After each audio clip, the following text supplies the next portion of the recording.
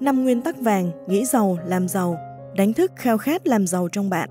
Tác giả Napoleon Hill. Dịch giả Lê Quỳnh Nhiên. Phát hành bởi công ty Beast và nhà xuất bản Hồng Đức.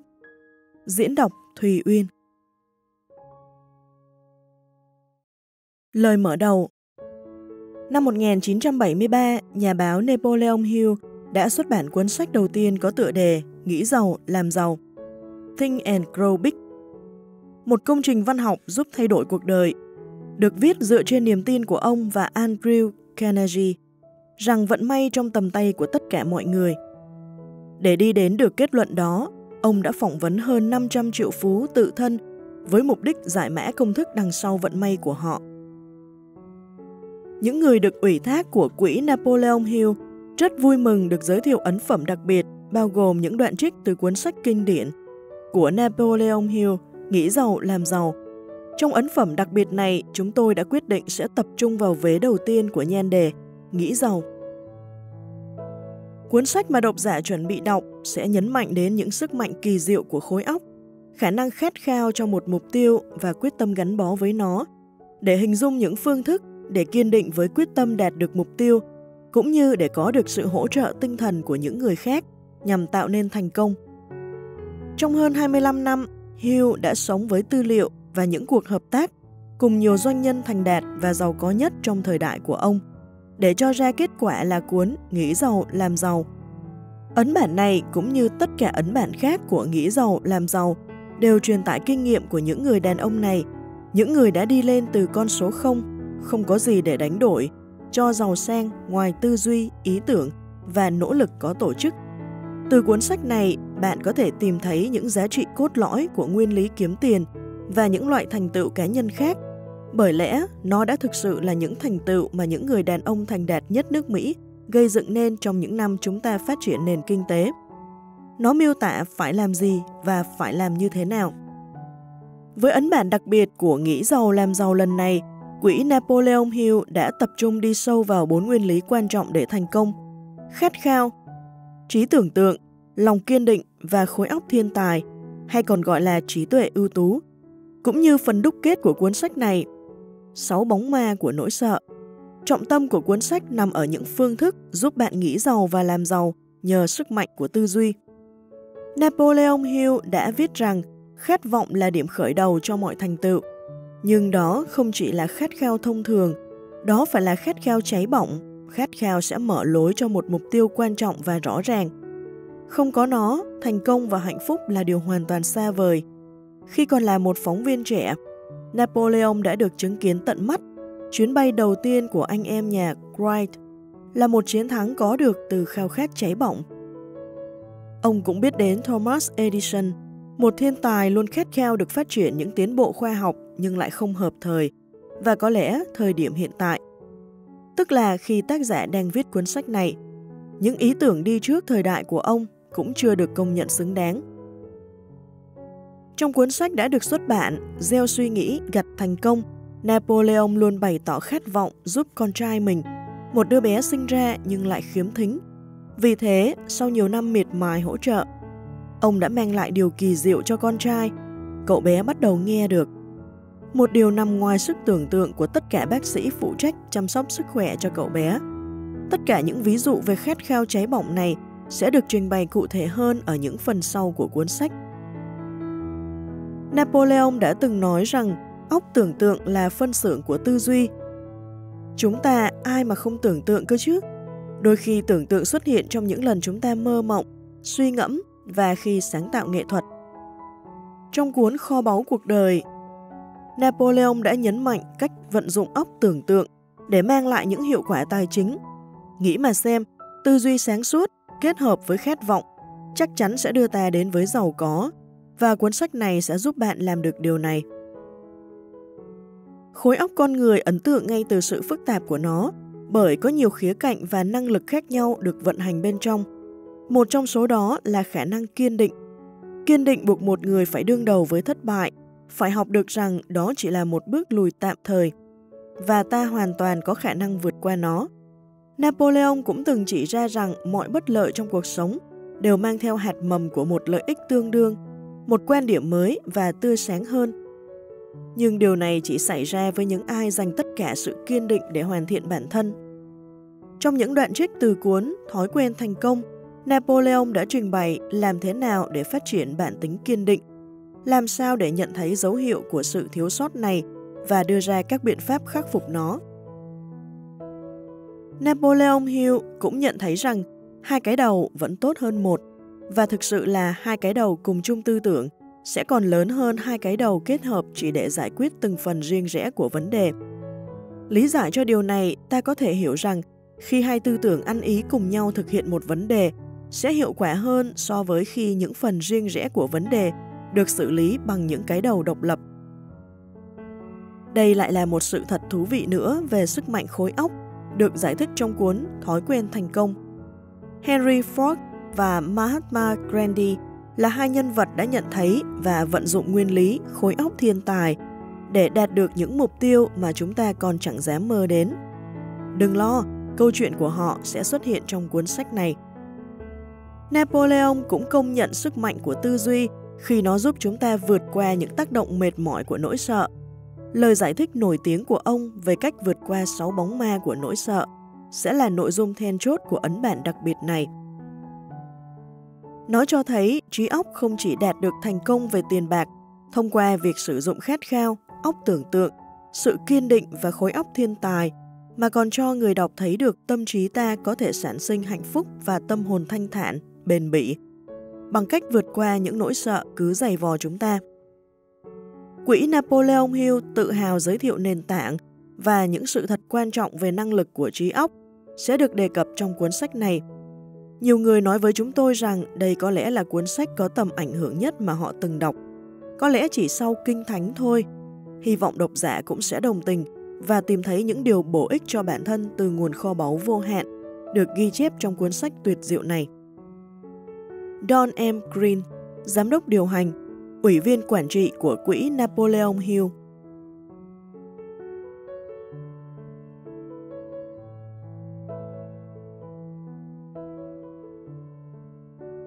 Lời giới thiệu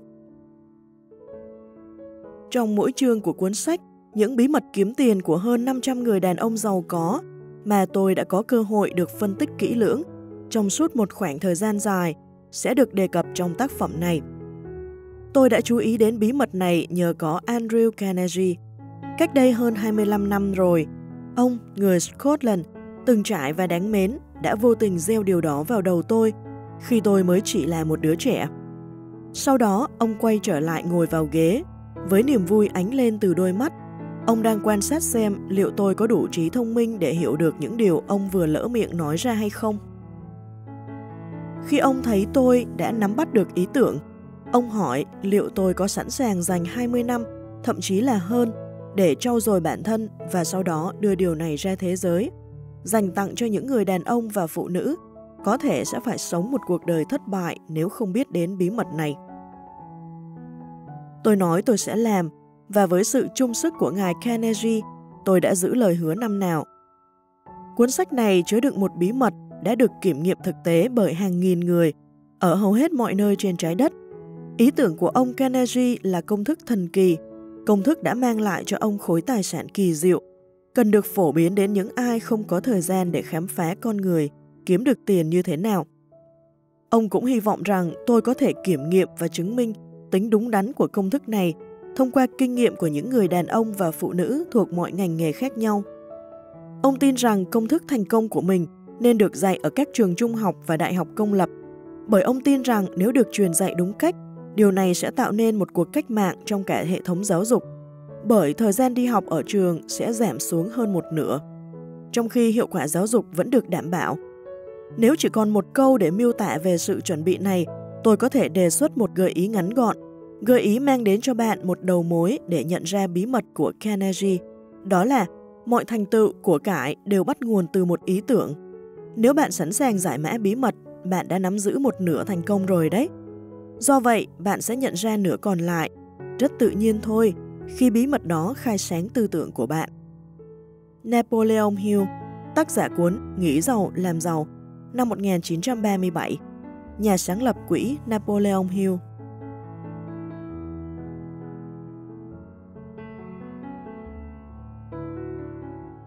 Chương 1. Khát khao Điểm khởi đầu của mọi thành tựu khi Edwin C. Barnes bước xuống từ con tàu chở hàng của quận Cam, New Jersey, cách đây hơn 30 năm, ngoại hình của ông có thể khiến người ta liên tưởng đến một kẻ lang thang, nhưng những ý tưởng của ông thì như của một vị vua vậy. Khi đang trên đường đi từ nhà ga đến văn phòng của Thomas A. Edison, tâm trí ông cũng dành trọn cho công việc. Ông thấy mình được đứng trước Edison, được xin ông trao cho một cơ hội để thực hiện nguyện ước kẻ đời của mình, một khát khao cháy bỏng được trở thành đối tác của nhà phát minh vĩ đại. Khát khao của Barnes không phải là một hy vọng, càng không phải là một điều ước, mà đó là một khát khao mãnh liệt và sôi nổi lấn áp tất cả những thứ khác, đó là quyết tâm. Năm năm trôi qua cho đến khi cái cơ hội mà ông Hằng tìm kiếm cuối cùng cũng xuất hiện. Trong suốt 5 năm đó, không một tia hy vọng, không một lời hứa hẹn thực hiện khát khao của ông được đáp ứng. Trong mắt mọi người, tất nhiên là trừ ông ra, thì ông chỉ như những bánh răng khác vận hành trơn tru theo chỉ đạo của Edison. Nhưng ông cho rằng trong từng giây từng phút kể từ khi bắt đầu được làm việc tại đó, ông đã thành người cộng sự của Edison luôn rồi. Khi đặt chân đến quận Cam, ông đã không tự nhủ rằng tôi sẽ thuyết phục Edison giao cho một công việc tại đây. Thay vào đó, ông nói tôi sẽ đến gặp Edison và khiến ông ấy hiểu rằng tôi đến đây để cùng làm ăn với ông. Ban đã không nói rằng tôi sẽ làm việc ở đây trong vài tháng, nhưng nếu không tìm thấy động lực, tôi sẽ từ bỏ và đi tìm công việc khác. Mà ông đã nói, tôi có thể bắt đầu với bất kỳ vị trí nào, tôi sẽ làm mọi việc Edison giao cho, nhưng trước khi làm điều đó, tôi sẽ là cộng sự của ông ấy. Ông cũng chẳng nói rằng tôi sẽ luôn chờ đợi một cơ hội khác, phòng khi tôi không thể có được thứ mình muốn ở văn phòng của Edison. Điều ông đã nói là chỉ có một điều trên thế giới này mà tôi nhất định phải có được, đó là việc được trở thành cộng sự trong công việc với Thomas A. Edison. Tôi đã chặn hết mọi đường lui, thay vào đó tôi sẽ đặt cược cả tiền đồ phía trước của mình vào khả năng đạt được những gì mình muốn. Ông không cho mình một con đường thoát thân, ông chỉ có hai lựa chọn, chiến thắng hoặc chiến bại. Đó là tất cả những gì trong câu chuyện thành công của Barnes. Tất cả những ai khi đạt đến độ tuổi đủ hiểu được mục đích của đồng tiền đều mơ ước điều này. Chỉ mơ ước thôi sẽ chẳng mang lại giàu có, nhưng khét khao giàu sang với một trạng thái tâm lý đạt đến độ ám ảnh. Sau đó lên kế hoạch cho những bước đi cụ thể để vươn tới thành công. Không quên phát triển kế hoạch với tính kiên định, thì thất bại sẽ chẳng có cơ hội được diện kiến bạn bởi giàu có đã đến trước rồi. Phương pháp mà khát khao giàu sang chuyển hóa được thành những lợi ích tài chính bao gồm 6 bước cụ thể và thực tiễn sau. Thứ nhất, cố định trong đầu khoản tiền mà bạn mong muốn. Nếu nói tôi muốn nhiều tiền thì không cụ thể, hãy chính xác đến từng con số. Thứ hai, quyết định những thứ bạn sẽ đánh đổi để có được khoản tiền mà bạn khao khát. Không có gì gọi là cho không cả. Thứ ba, lên kế hoạch cho một ngày cụ thể, ngày mà bạn sở hữu số tiền bạn khao khát.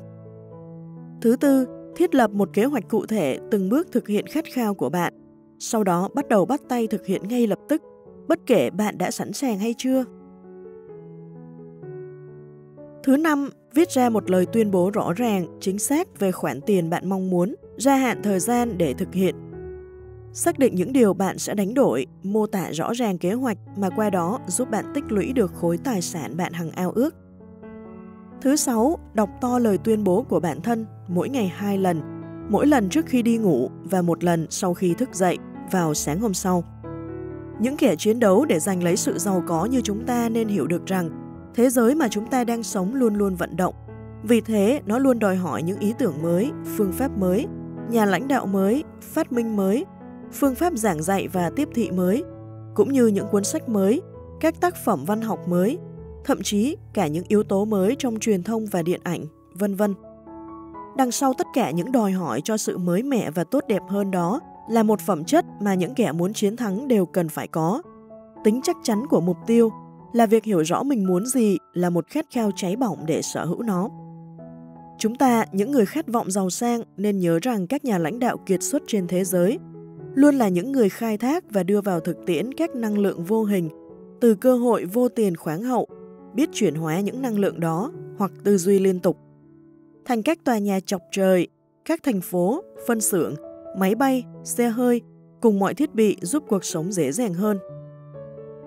Sức chịu đựng và một tư duy mở là những điều thiết yếu và thực tế cho những kẻ mơ mộng thời nay. Những người sợ hãi các ý tưởng mới sẽ chịu số phận bi đát trước khi họ bắt đầu. Đây là lúc thích hợp nhất cho các nhà tiên phong có đất dụng võ. Vâng, đúng vậy.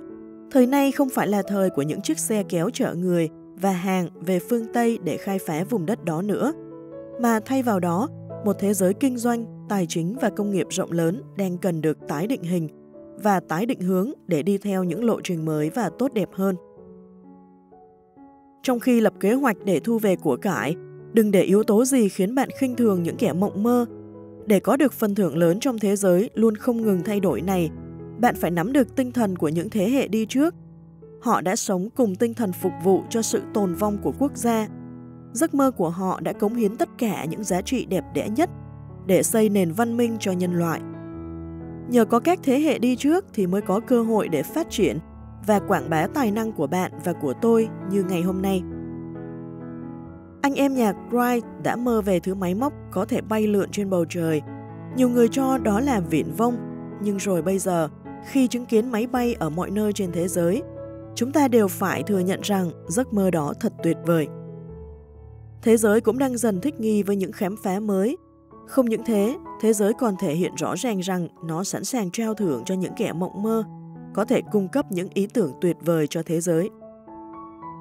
Thức tỉnh, trỗi dậy và khẳng định bản thân ngay đi thôi, những kẻ mộng mơ của thế giới.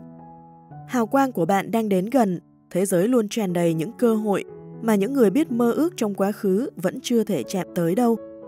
Cũng cần nhớ rằng những vĩ nhân thành công trong quá khứ từng có những khởi đầu tệ hại Họ phải vượt qua những khó khăn gian khổ đến là sầu não trước khi họ thực sự chạm vào danh vọng. Bước ngoặt của những con người thành công lại thường đến vào những khoảnh khắc khủng hoảng và trong giây phút ấy, họ đã khám phá được những mặt mới của bản thân. Mầm sống của cây sồi ẩn sâu trong hạt quả, chim muông chờ đợi chào đời sau vỏ trứng và trong ảo tưởng của tâm hồn, một thiên thần gõ cửa đánh thức dậy, ước mơ là hạt giống của thực tiễn. James Allen Edison, nhà phát minh và nhà khoa học vĩ đại nhất thế giới, trước kia chỉ là chân vận hành máy điện báo quèn. Ông đã thất bại không biết bao nhiêu lần. Trước khi khám phá được phẩm chất thiên tài đã ngủ quên trong tâm trí mình. Robert Burns từng là một thanh niên quê mùa, vô học, bị nghèo khó bủa vây và lớn lên trong bộ dạng lếch thích của một con ma men. Nhưng thế giới đã tốt đẹp lên nhờ có sự hiện diện và tồn tại của ông, bởi ông đã gieo những ý nghĩ tốt đẹp qua thơ ca, rồi còn nhổ gai, rồi trồng vườn hoa hồng ở đó nữa. Booker T. Washington đã sinh ra trong khó khăn, nghèo khổ. Ông còn chịu thiệt thòi khi bị phân biệt đối xử bởi sắc tộc và màu da. Nhưng bởi vì khi đó ông cam chịu, biết nhìn một cách thoáng đạt về mọi mặt cuộc sống, và vì ông là người biết mơ mộng, ông đã để lại dấu ấn trên toàn nước Mỹ mà có lẽ sẽ còn lưu mãi trong muôn đời sau.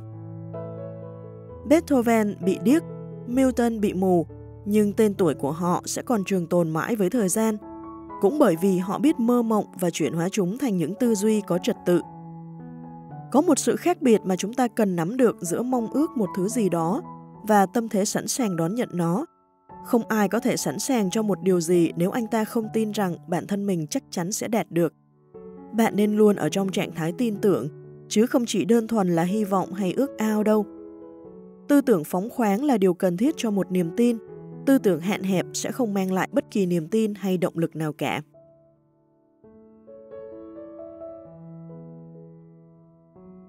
Khát vọng sẽ dẫn trước mẹ thiên nhiên. Nhiều năm trước khi tôi chào đón đứa con trai đầu lòng, tôi đã từng viết những giới hạn duy nhất của chúng ta là những thứ chúng ta tự đặt ra. Lần đầu tiên trong đời tôi tự hỏi liệu câu nói đó có đúng không? Trước mặt tôi đang nằm trên giường là đứa con bé bỏng mới chào đời của mình, không có khả năng nghe bởi nó bị khiếm thính. Dù rằng đứa bé vẫn có thể nghe hoặc nói, nhưng nó sẽ bị dị tật kẻ đời. Tôi có thể làm gì đây? Bằng một cách nào đó, tôi có thể sẽ tìm ra lối đi để khát khao cháy bỏng của tôi, khát khao tìm thấy phương pháp truyền tải âm thanh đến thằng bé mà không cần sự hỗ trợ của đôi tai. bám sâu vào suy nghĩ của thằng bé. Ngay khi thằng bé có thể nhận thức và hợp tác với tôi, tôi sẽ khiến nó phải sụp sôi khát khao được nghe và mẹ thiên nhiên bằng cách của riêng người sẽ chuyển chúng thành hiện thực vật lý. Một ngày nọ, tôi bỗng khám phá ra rằng thằng bé có thể nghe tôi nói khá rõ nếu tôi kề môi sát lại gần xương trũng, xương ở sau mang tai hoặc ở phía sau não. Những khám phá này đã cho tôi động lực để sớm tìm ra công cụ giúp tôi hiện thực hóa khát khao cháy bỏng này của bản thân. Cái khát khao được giúp con trai mình phát triển khả năng nghe và nói. Khi ấy, thằng bé cũng cố gắng bập bẹ được vài từ. Viễn cảnh khi đó chưa thực sự tươi sáng, nhưng khát vọng được xây dựng từ niềm tin thì không có khái niệm bất khả thi trong hành trình của nó. Sau khi đã quả quyết rằng thằng bé nhất định sẽ nghe được giọng nói của tôi rõ ràng hơn, ngay lập tức tôi bắt đầu nuôi cấy suy nghĩ khát khao được nghe và nói vào tư tưởng của con trai mình. Tôi cũng nhanh chóng nhận thấy rằng đứa trẻ của mình thích thú những câu chuyện kể trước giờ ngủ. Vì thế khi đi làm, tôi đã tự mình nghĩ ra các mẫu chuyện, được thiết kế riêng để khích lệ sự tự tin, óc tưởng tượng và khát khao mãnh liệt được nghe và được bình thường như bao bạn bè cùng trang lứa của con trai mình. Đứa con bé bỏng của tôi vẫn được lên lớp đều đặn, hết cấp 3 rồi vào đại học, dù nó vẫn không thể nghe các thầy cô nói gì, trừ khi họ hét thật lớn và thật gần thằng bé. Chúng tôi không cho con đi học ở trường dành cho trẻ khiếm thính, bởi chúng tôi không muốn thằng bé học theo ngôn ngữ ký hiệu. Chúng tôi đã quyết định rằng thằng bé sẽ sống một cuộc đời bình thường, được kết bạn với những đứa trẻ bình thường và chúng tôi đã luôn bảo vệ quyết định đó dù rằng điều này đã đem lại không ít cuộc tranh luận nảy lửa với ban giám hiệu nhà trường. Khi thằng bé học trung học, nó từng thử dùng một thiết bị hỗ trợ nghe bằng điện, nhưng không có tác dụng. Chúng tôi quẹ thực cũng tin là thằng bé không tương thích với thiết bị, vì khi thằng bé mới lên 6, các bác sĩ đã tiết lộ với chúng tôi rằng khi họ phẫu thuật một bên đầu của nó và nói rằng họ không nhận thấy dấu hiệu nào của khả năng nghe trong não bộ của con trai tôi. Trong tuần cuối ở đại học, 18 năm sau ngày phẫu thuật, một sự kiện đã xảy ra, đánh dấu bước ngoặt quan trọng nhất trong cuộc đời của thằng bé. Nhờ một sự việc có thể coi là cơ hội, con trai tôi được tặng dùng thử một thiết bị trợ thính bằng điện. Nhưng nó có vẻ chần chừ thử nghiệm, cũng bởi nó từng thất vọng với những thiết bị tương tự trước đó rồi. Rốt cục thì nó cũng cầm cái máy lên, đặt nó ở vị trí dành cho thiết bị trên đầu.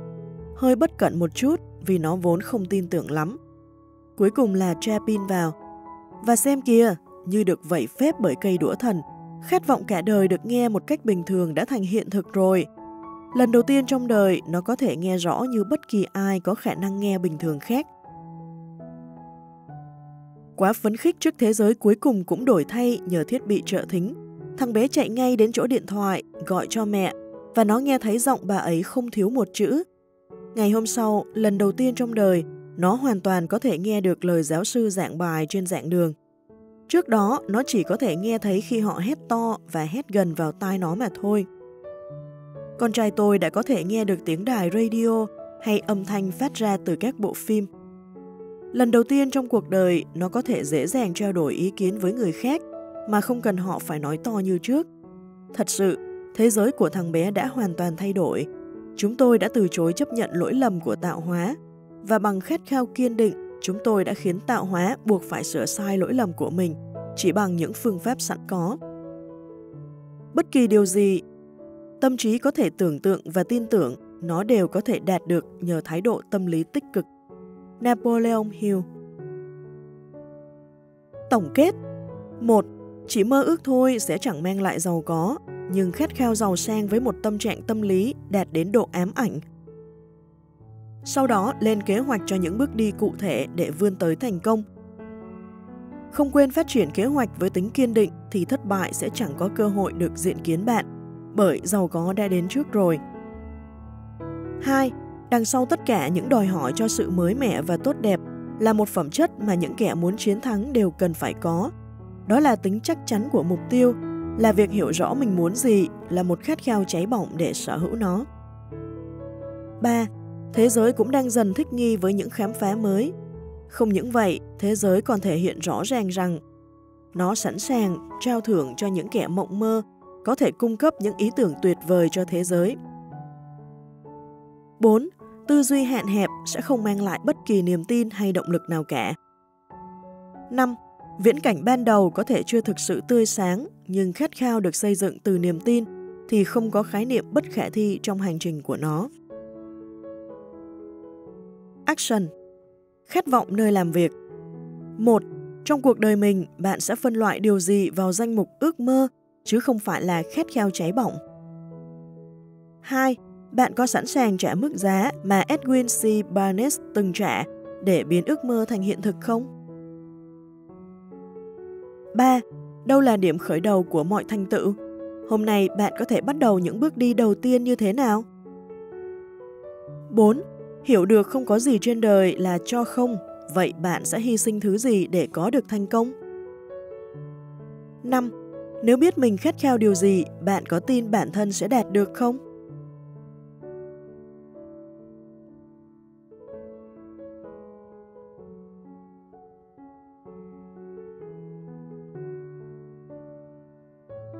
Chương 2. Trí tưởng tượng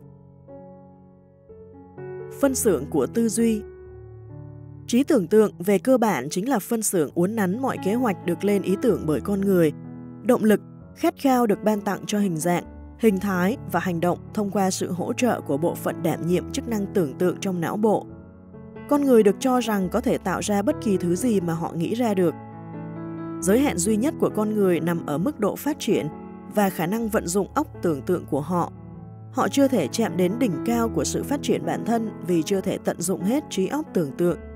Họ chỉ đơn giản là phát hiện ra mình có khả năng tưởng tượng và rồi bắt tay sử dụng theo những phương thức thật cơ bản.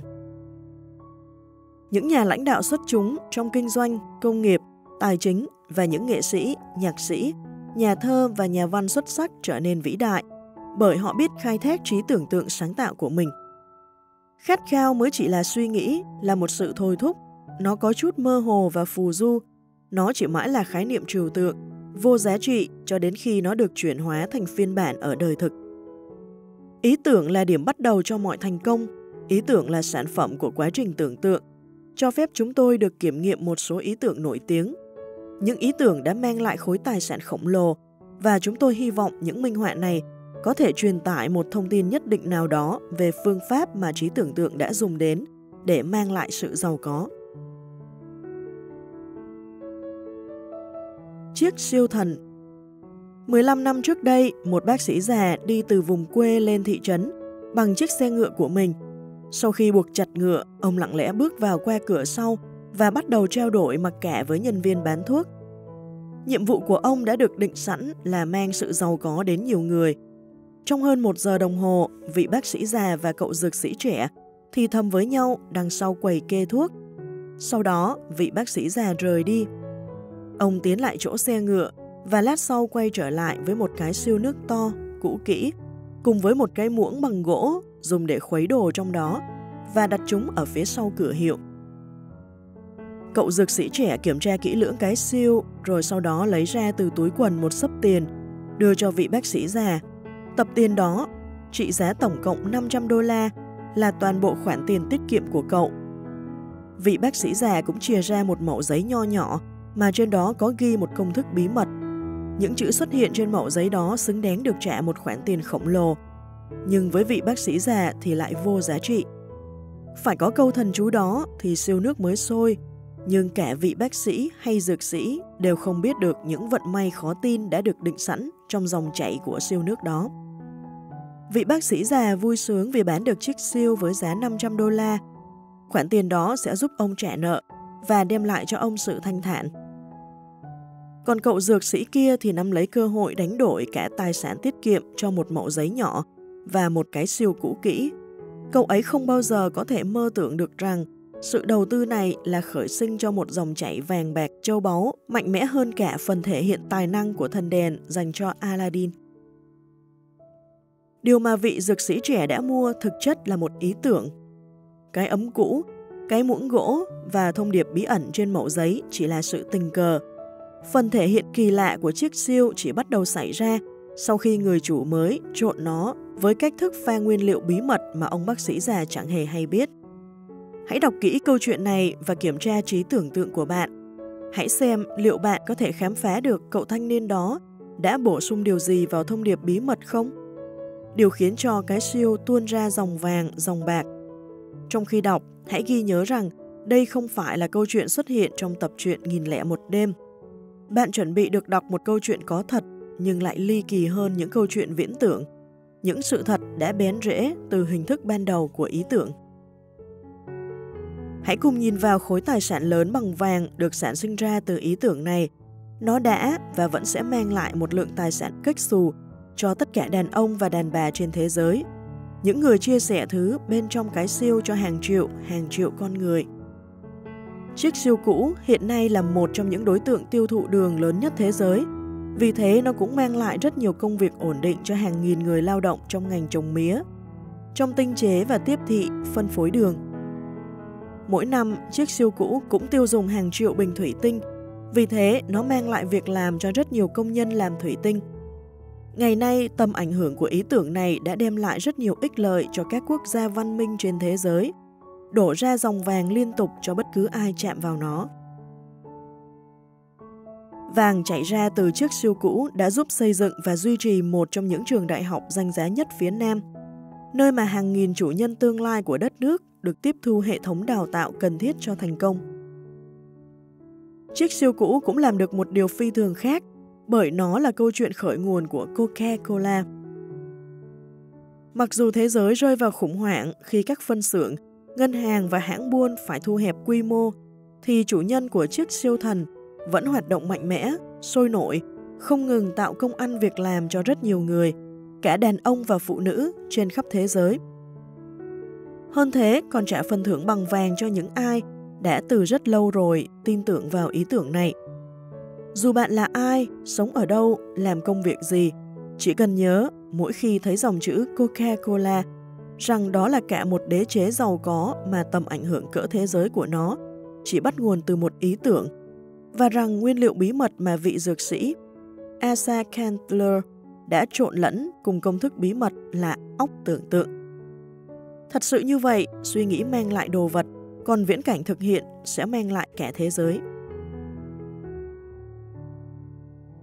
Sẽ làm gì nếu tôi có một triệu đô la?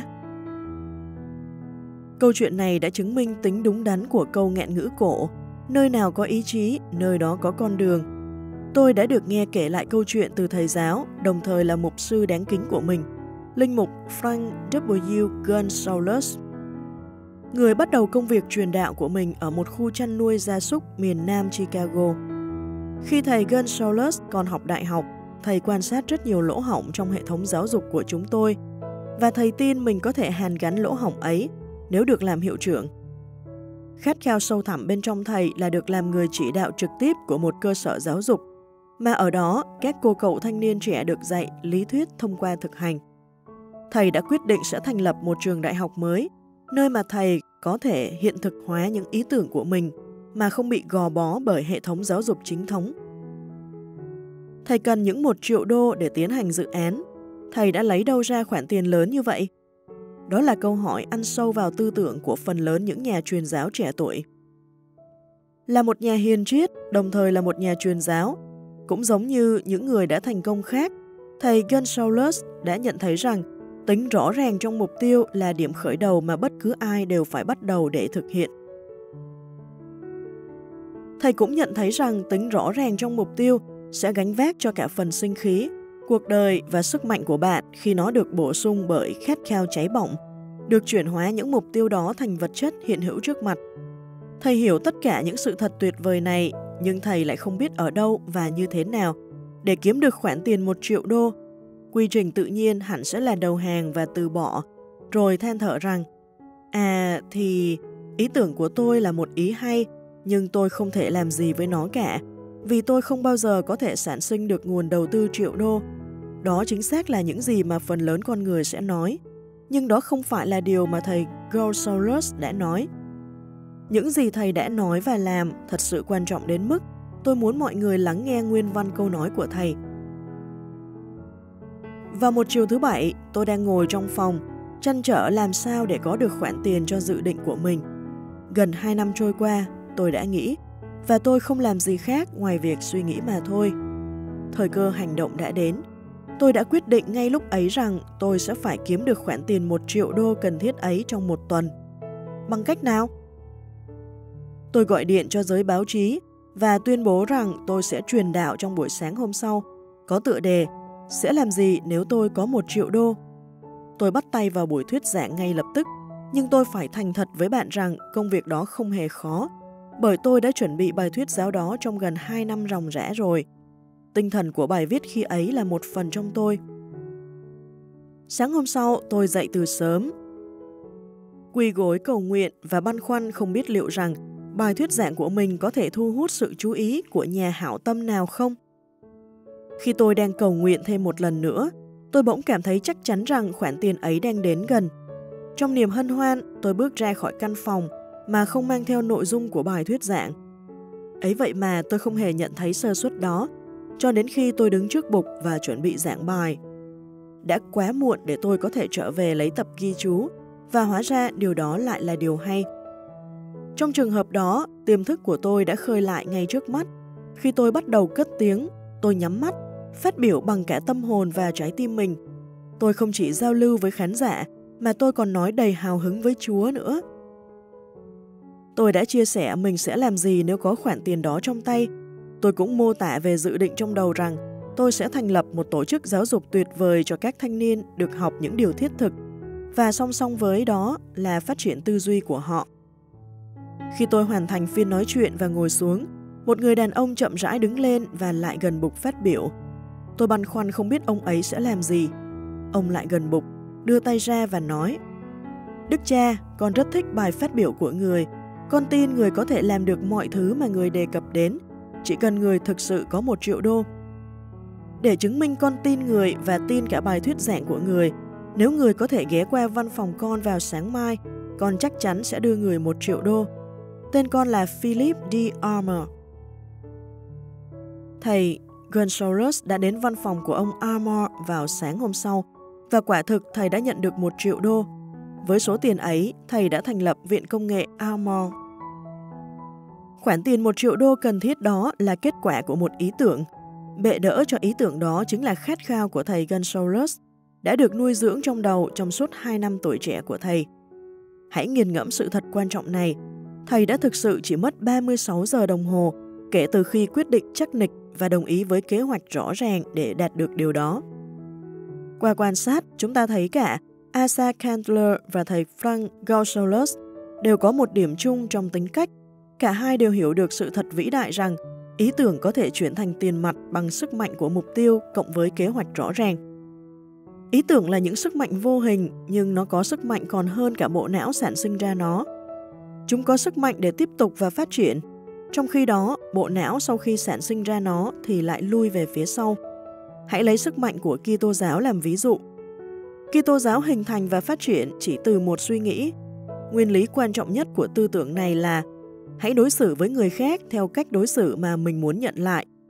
Tuy Chúa đã hóa kết bụi, quay về nơi người xuất hiện nhưng ý tưởng của người vẫn vang mãi khúc hành ca. Một ngày nào đó, nó sẽ lớn lên và xứng đáng với vị thế của nó. Thực hiện được khát khao sâu thẳm của người. Ý tưởng mới chỉ được phát triển trong 2.000 năm thôi mà. Hãy kiên nhẫn thêm xem nào. Thành công không đòi hỏi lời giải thích, giống như thất bại cũng không cần lời bao biện.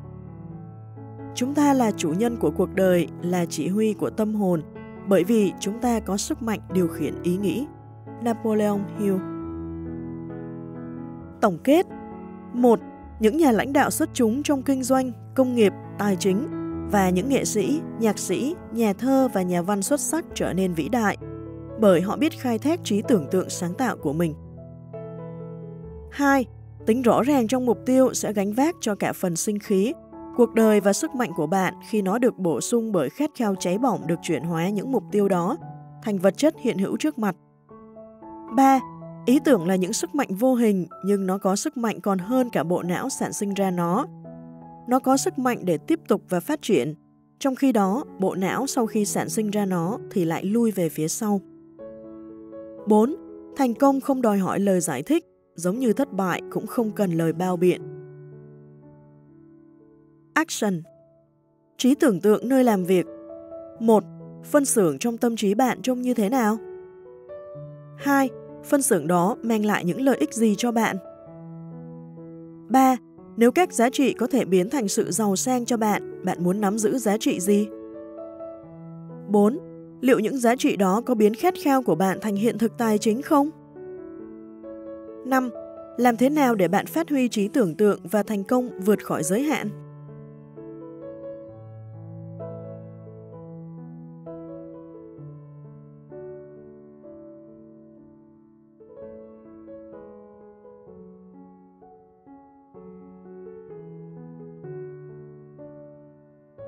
Chương 3. Lòng kiên định Nỗ lực được duy trì liên tục, yếu tố để dẫn đến thành công. Kiên định là một yếu tố quan trọng trong quá trình biến khát vọng thành giá trị tiền tệ tương đương. Cơ sở của lòng kiên định là sức mạnh của ý chí. Phần lớn mọi người đều rất nhiệt tình khi đặt ra ý định hay mục tiêu, nhưng rồi lại bỏ cuộc mỗi khi vấp phải khó khăn hay cản trở. Chỉ một số ít có thể đi đến cùng dù cho gặp phải biết bao sóng gió. Những cái tên nằm trong số ít này là Ford, Carnegie, Rockefeller và Edison. Kiên định là một trạng thái tâm lý, vì thế ta có thể nuôi dưỡng được. Cũng như mọi trạng thái tâm lý khác, lòng kiên định được dựa trên những cơ sở nhất định. Trong số đó là một Mục tiêu rõ ràng.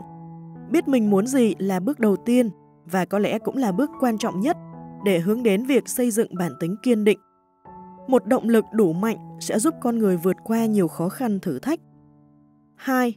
Khát vọng Với khát khao mãnh liệt, bạn có thể tương đối dễ dàng có được và duy trì sự kiên định trong việc theo đuổi một đối tượng. 3. Niềm tin vào bản thân Tin vào khả năng thực hiện kế hoạch của mình sẽ khuyến khích bạn đi theo kế hoạch đã định, bởi đó là sự kiên định. 4. Kế hoạch rõ ràng Sắp xếp các dự định dù cho có thể chúng không chắc chắn và không khả thi, nhưng chúng sẽ củng cố sự kiên định trong bạn. 5. Kiến thức chuẩn xác Dựa vào kinh nghiệm và quan sát, thấy rằng kế hoạch của mình được xây dựng hợp lý sẽ giúp bạn có thêm động lực để kiên trì, đoán thay vì hiểu, sẽ phá hỏng toàn bộ nỗ lực kiên trì của bạn.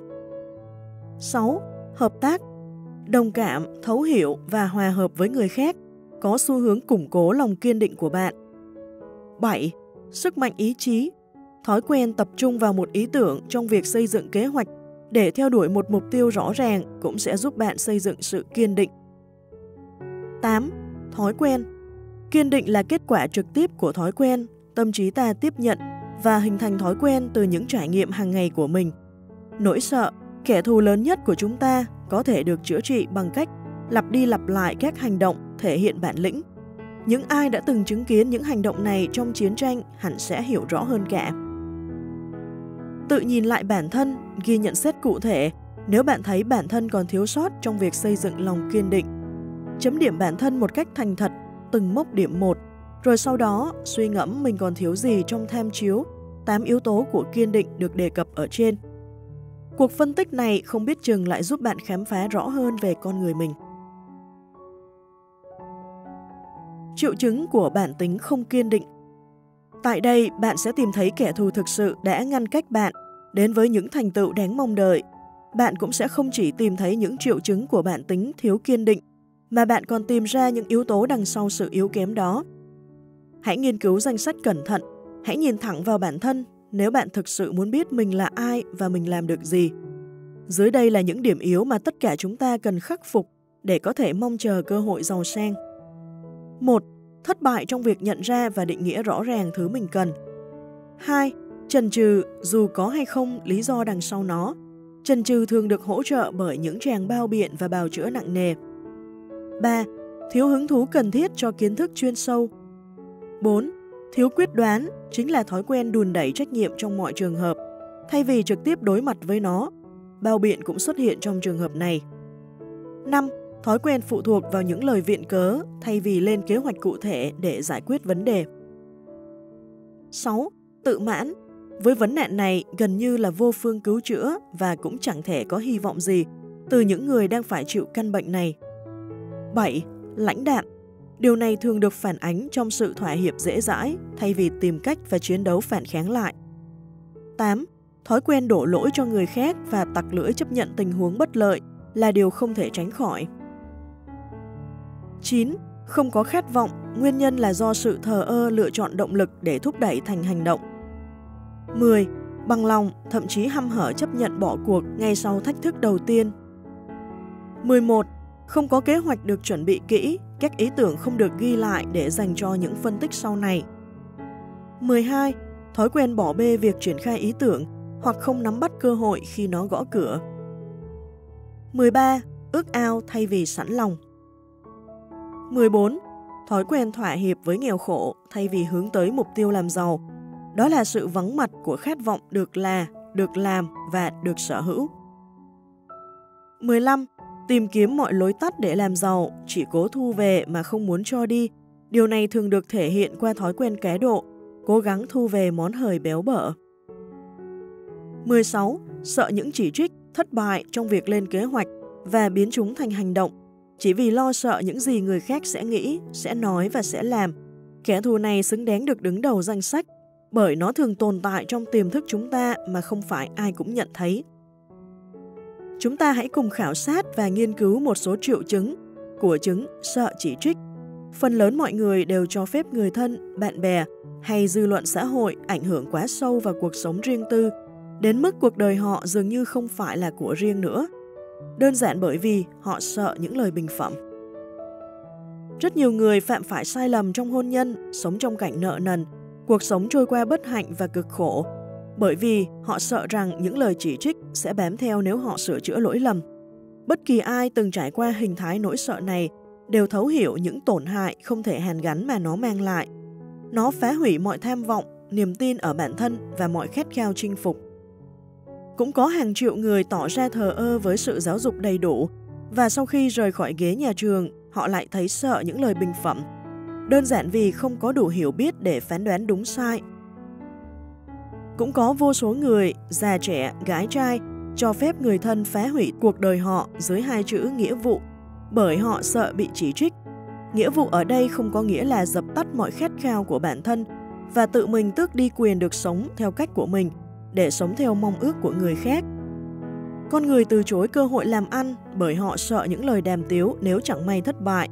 Nỗi sợ bị chỉ trích trong những trường hợp kể trên còn lớn hơn khát vọng được thành công cũng có quá nhiều người từ chối đặt ra những mục tiêu cao kẻ hơn cho bản thân, hoặc thậm chí tỏ ra thờ ơ trong việc lựa chọn ngành nghề mình sẽ theo đuổi. Bởi họ sợ những lời nhận xét không hay từ người thân hay bạn bè rằng Đừng mơ hão, mọi người sẽ nghĩ bạn điên rồ thật rồi. Sự thay đổi duy nhất mà chúng ta có thể dựa vào là sự thay đổi ở bản thân. Những thay đổi này chỉ nhờ đến lòng kiên định mà điểm khởi đầu nằm ở mục tiêu rõ ràng – Hãy kiểm nghiệm ở 100 người đầu tiên mà bạn gặp, hỏi họ xem họ đang mong muốn có được điều gì nhất. Thứ bạn nhận được sẽ là 98 câu trả lời không rõ ràng. Nhưng nếu bạn vẫn muốn nghe được đáp án, vậy thì sẽ có những người đề cập đến các khái niệm như an ninh, tiền bạc, hạnh phúc, danh vọng và quyền lực, công nhận của xã hội, cuộc sống dễ thở, năng khiếu ca hát, nhảy múa hoặc viết lách.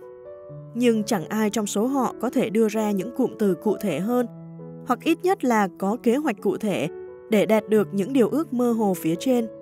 Không phải cứ ước là giàu, giàu có chỉ đến với ai có dự định rõ ràng, có khát khao và kiên định. Làm sao để phát huy tính kiên định? Có bốn bước cơ bản giúp bạn hình thành thói quen kiên định. Nó không yêu cầu bạn phải thông minh sáng dạ, không yêu cầu hiểu biết sâu rộng, chỉ đơn giản là cần bạn dành thời gian và công sức mà thôi.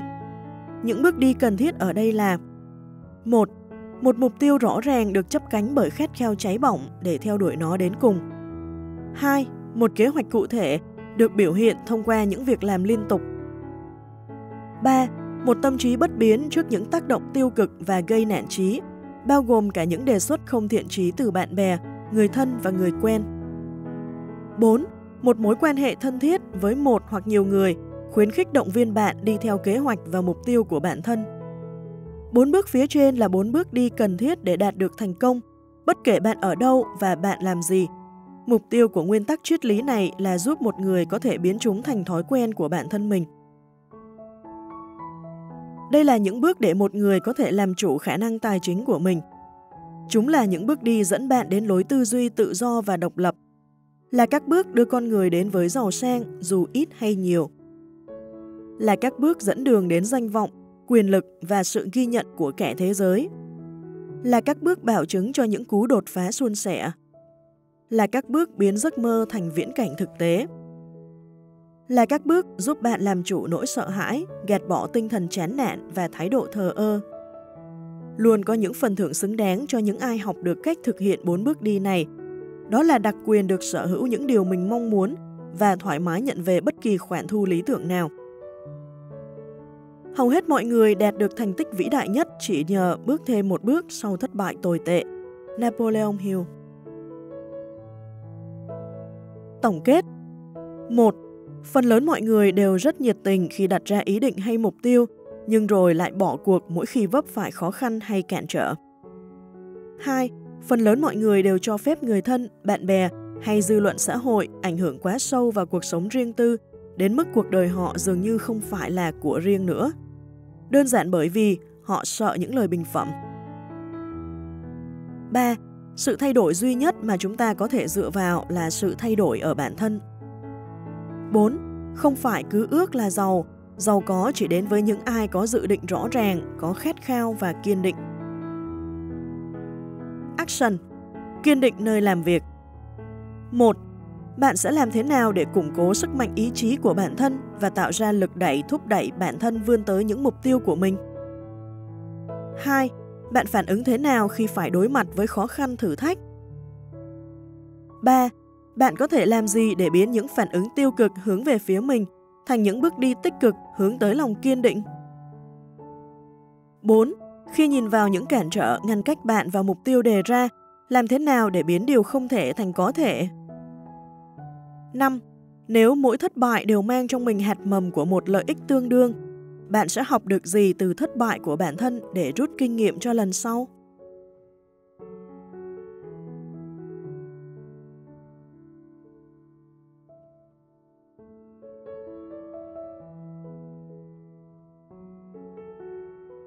Chương 4. Khối óc thiên tài Động lực Trong hành trình chinh phục giàu sang, sức mạnh là yếu tố cần thiết để thành công. Nếu không có đủ năng lực để biến từ kế hoạch thành hành động, thì chúng cũng chỉ mãi dậm chân tại chỗ mà không được tích sự gì thôi. Nội dung của chương này sẽ miêu tả một phương pháp mà bất kỳ ai cũng có thể nắm được và áp dụng để tạo sức mạnh cho bản thân. Sức mạnh có thể được định nghĩa là kiến thức được tổ chức và định hướng một cách sáng suốt. Sức mạnh khi được sử dụng trong cuốn sách này sẽ ám chỉ đến những nỗ lực có hệ thống, hiệu quả của một cá nhân để chuyển hóa khát khao thành giá trị tiền tệ tương đương. Nỗ lực có tổ chức được tạo ra trong quá trình kết hợp những nỗ lực của hai hoặc nhiều người, của những người cùng phấn đấu cho một mục tiêu chung. Sức mạnh cũng chính là tương lai cho những người muốn sống một cuộc sống đam mê và đạt được những kết quả lớn lao trên chặng đường tìm đến mục tiêu của mình. Là niềm tin cho những ai muốn tách khỏi đám đông và vươn đến đỉnh cao cuộc chơi khi gian truân cuộc đời bủa vây, là chìa khóa cho những người đã chán ngấy những vị lãnh đạo yếu kém, chuyên quyền, vị kỷ hay đơn giản những lãnh đạo tầm thường và thay vào đó những người muốn nâng cao tiêu chuẩn và nâng tầm bản thân. Nếu bạn từng đọc cuốn The Book of Leadership, dẫn dắt bản thân, đội nhóm và tổ chức vươn xa chắc chắn bạn sẽ hiểu hơn về sự nỗ lực của bản thân để đạt được sức mạnh trong tổ chức, hình thành nên những trí tuệ ngấm sâu vào tâm trí và hành động của chính mình. Để kiếm tiền, sức mạnh là điều không thể thiếu. Chúng ta hãy cùng xác định cách thức để có được sức mạnh. Nếu sức mạnh là kiến thức có hệ thống, hãy cùng kiểm chứng qua những nguồn tri thức dưới đây. 1. Trí tuệ vô tận Nguồn tri thức này có thể được liên hệ thông qua niềm tin và khả năng tập trung – với sự trợ giúp của trí tưởng tượng và sáng tạo. 2. Kinh nghiệm được tích lũy Những kinh nghiệm mà một người tích lũy được hoặc một phần kinh nghiệm đã được ghi chép lại có thể dễ dàng tìm thấy ở bất kỳ thư viện tốt nào. Một phần quan trọng của những kinh nghiệm được tích lũy này được mang vào giảng dạy trong môi trường đào tạo đại học và trung học công lập. 3. Thử nghiệm và nghiên cứu Trong lĩnh vực khoa học và gần như cũng trong mọi tầng lớp của cuộc sống, con người đều tập hợp phân loại và sắp xếp các thông tin mới vào hệ thống. Đây là nguồn tri thức mà chúng ta cần phải tìm đến khi điều đó chưa nằm trong mục kinh nghiệm tích lũy. Tại đây, trí tưởng tượng và óc sáng tạo cũng nên được sử dụng. Bạn có thể tiếp cận tri thức bằng bất kỳ cách nào trong những nguồn kể trên. Nó có thể được chuyển hóa thành sức mạnh bằng cách hệ thống hóa lại kiến thức của bản thân để lập nên những kế hoạch rõ ràng, để biến chúng thành hành động cụ thể. Cuộc rà soát lại ba nguồn tri thức chính được đề cập ở trên đã phơi bày những khó khăn mà một cá nhân có thể gặp phải nếu anh ta chỉ dựa vào nỗ lực của bản thân trong hành trình thu thập tri thức và lên kế hoạch hành động cụ thể. Nếu kế hoạch của anh ấy là một sự thay đổi toàn diện và nếu nó được thực hiện với quy mô lớn, thì bản thân kế hoạch ấy nên đủ sức hấp dẫn để lôi kéo người khác hợp tác cùng anh ta, thay vì phải đi thuyết phục từng người tham gia dự án này để có được sức mạnh. Tìm kiếm sức mạnh nhờ trí tuệ ưu tú hay khối óc thiên tài Trí tuệ ưu tú có thể được định nghĩa là sự kết hợp kiến thức và nỗ lực trên tinh thần hòa hợp giữa hai hoặc nhiều người để đạt được mục đích xác định. Tôi lần đầu chú ý đến nguyên lý của khối óc thiên tài thông qua ngài Andrew Carnegie cách đây hơn 25 năm. Cuộc khám phá ra nguyên lý này đã định hướng tôi đến với lựa chọn công việc theo tôi cả đời này. Tổ chức khối óc thiên tài của ngài Andrew Carnegie bao gồm đội ngũ khoảng 50 người, những người do ông tập hợp lại để cùng thực hiện một mục tiêu rõ ràng, sản xuất và tiếp thị, phân phối sắt thép. Ông luôn tin rằng mọi tài sản hiện giờ ông có đều là nhờ sức mạnh ông thu được thông qua dự án khối óc thiên tài đó. Rich Habits, thói quen thành công của những triệu phú tự thân, nổi tiếng với câu chuyện thói quen của 233 triệu phú và 177 triệu phú tự thân đã trở thành vũ khí giúp không ít người vươn lên để đạt được sức mạnh cho chính mình qua 30 thói quen của sự giàu có. Một mục tiêu rõ ràng cùng cái đầu thông minh chắc chắn không bao giờ khiến chúng ta thất vọng trong những quyết định của mình. Phân tích hồ sơ ghi chép về bất cứ ai thu được khối tài sản đồ sộ và cả những người có khối tài sản khiêm nhường, bạn sẽ thấy rằng dù vô tình hay hữu ý, họ đều tiếp nhận nguyên lý trí tuệ ưu tú. Sức mạnh tối cao không thể có được từ bất kỳ nguyên lý nào khác. Có một sự thật mà ai cũng biết, đó là một cây làm chẳng nên non, ba cây chụm lại nên hòn núi cao. Và cũng có một sự thật không ai có thể chối cãi rằng chỉ khi những cái cây phát triển tốt thì cả cánh rừng mới xanh tốt. Não bộ của chúng ta hoạt động theo một cách thức tương tự. Điều này lý giải cho sự thật rằng bộ óc của một số người này lại hoạt động hiệu quả hơn người khác và nó cũng dẫn đến một phát ngôn đáng chú ý. Một nhóm những bộ óc tập hợp lại hoặc được kết nối với nhau trên tinh thần hòa hợp sẽ mang lại nhiều năng lượng tư duy hơn là một bộ não độc lập. Giống như một nắm pin sẽ mang lại dòng điện mạnh hơn so với một cục pin đơn lẻ. Thông qua phép ẩn dụ này, ta có thể thấy rõ một điều rằng nguyên lý khối óc thiên tài nắm giữ bí mật về sức mạnh của những người được cùng hợp tác với những trí tuệ xuất sắc khác.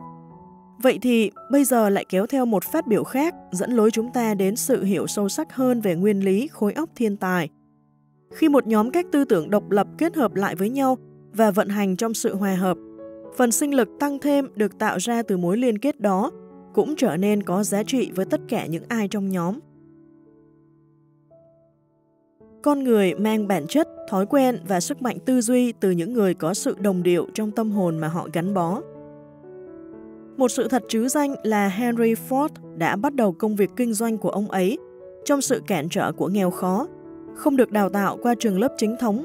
Một sự thật cũng được nhiều người biết đến là trong khoảng thời gian 10 năm ngắn ngủi đến bất ngờ, quý ông Ford đã vượt qua được tất cả những cản trở này. Và trong 25 năm tiếp theo, ông đã biến bản thân trở thành một trong những người giàu có nhất nước Mỹ. Liên kết với sự thật này, một thông tin thêm cho bạn là sự tiến bộ nhanh chóng của quý ông Ford thực hiện rất đáng kinh ngạc từ khi ông ấy trở thành người bạn thân cận của Thomas A. Edison. Và bạn sẽ bắt đầu hiểu được rằng tư duy của một người có thể ảnh hưởng đến người khác như thế nào. Tư duy doanh nhân, hành động lãnh đạo của Beverly E. Jones mà tôi từng có cơ hội đọc qua đã cho thấy được tư duy kiểu doanh nhân mang lại cho con người ta sự tự tin, phóng khoáng, tự chủ và nhiều lựa chọn.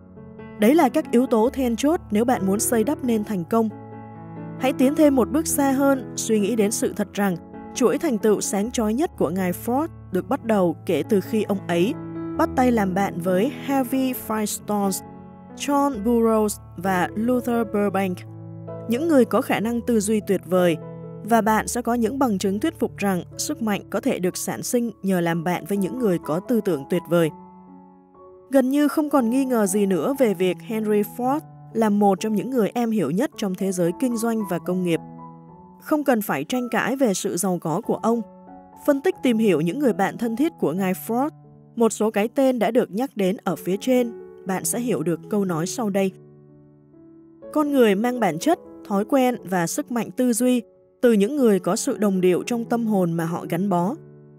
Henry Ford đã chiến thắng nghèo đói, hạn chế hiểu biết và thất học bằng cách kết thân với những tư tưởng tuyệt vời, những người mà mỗi rung cảm trong suy nghĩ đều được ông áp dụng cho bản thân mình.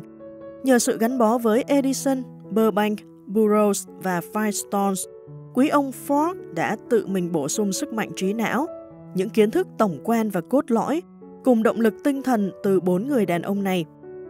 Hơn thế nữa, ông còn chiếm được và biết cách tận dụng nguyên tắc khối óc thiên tài thông qua phương pháp từng phần đã được mô tả trong cuốn sách này. Nguyên lý ấy bây giờ nằm trong tay bạn. Bây giờ hãy quan tâm đến những thành tựu mà Mahatma Gandhi đạt được. Phần lớn những ai đã từng nghe đến Gandhi đều cảm thấy ông như một con người kỳ cục, nhỏ bé, đi lại lung tung mà không ăn mặc chỉnh tề, lại còn gây rối với chính quyền Anh. Thực tế là Gandhi không hề gàn dở, mà ông là nhân vật có ảnh hưởng nhất còn sống Tính đến thời điểm viết sách, tầm ảnh hưởng của ông được tính chừng dựa trên số lượng con chiên và niềm tin của họ vào vị lãnh đạo này. Không chỉ thế, ông còn là người quyền lực nhất từng sống trên trái đất. Sức mạnh của ông tuy ở thế bị động nhưng lại là thật. Hãy cùng nghiên cứu phương pháp mà ông đã dùng để có được quyền lực phi thường. Có thể sẽ chỉ cần một vài từ để lý giải thôi.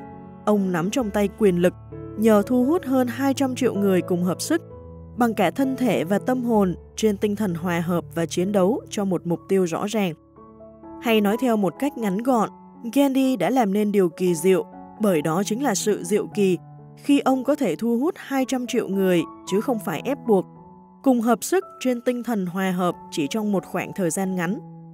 Nếu bạn nghi ngờ liệu đây có phải điều kỳ diệu không, hãy thử thuyết phục hai người bất kỳ hợp sức trong sự thống nhất trí tuệ với bạn trong khoảng thời gian vô hạn để đạt mục tiêu xác định xem sao. Bất kỳ ai gánh vác trọng trách đứng đầu trong các công ty sản xuất, doanh nghiệp làm ăn đều hiểu việc khiến người lao động của mình cùng làm việc trên tinh thần hòa hợp, thống nhất, khó khăn như thế nào. Như bạn đã thấy, danh sách những nguồn sức mạnh chính được đề cập ở trên đều được lãnh đạo bởi trí tuệ vô hạn. Khi hai hoặc nhiều người kết hợp với nhau trên tinh thần hòa hợp, và cùng phấn đấu cho một mục tiêu rõ ràng, họ sẽ đặt mình vào vị trí trong đó để tiếp thu sức mạnh trực tiếp của trí tuệ vô hạn từ những người khác cùng chung tư tưởng. Đây là nguồn sức mạnh tuyệt vời nhất mà bạn có thể có được.